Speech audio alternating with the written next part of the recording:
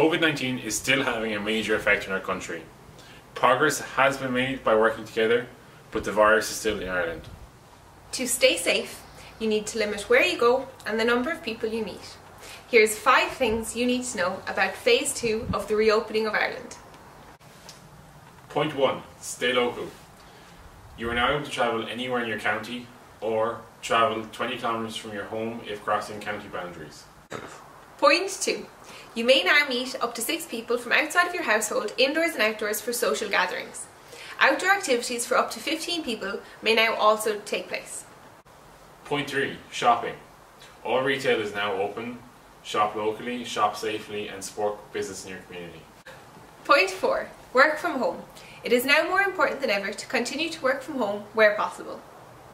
Point 5 Transport. Walk or cycle if you can. Only use public transport if you absolutely need to. Public transport is limited in capacity at the moment due to social distancing requirements. It is essential that we continue to practice good hand hygiene, cough etiquette, to avoid touching our faces, practice social distancing, and cleaning commonly touched surfaces.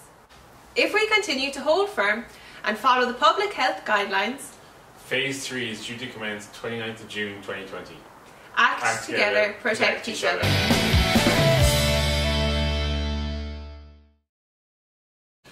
COVID 19 is still having a major effect on our country. Progress has been made by working together, but the virus is still in Ireland. To stay safe, you need to limit where you go and the number of people you meet. Here's five things you need to know about phase two of the reopening of Ireland. Point 1 Stay local. You are now able to travel anywhere in your county or travel 20 kilometres from your home if crossing county boundaries. Point two. You may now meet up to six people from outside of your household, indoors and outdoors, for social gatherings. Outdoor activities for up to 15 people may now also take place. Point 3 Shopping. All retail is now open. Shop locally, shop safely, and support business in your community. Point four. Work from home.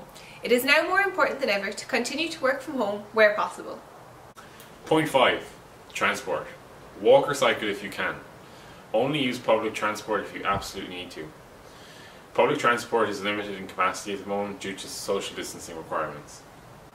If we continue to hold firm and follow the public health guidelines, Phase 3 is due to commence 29th of June 2020. act, Act together, together, protect, protect each each other. other.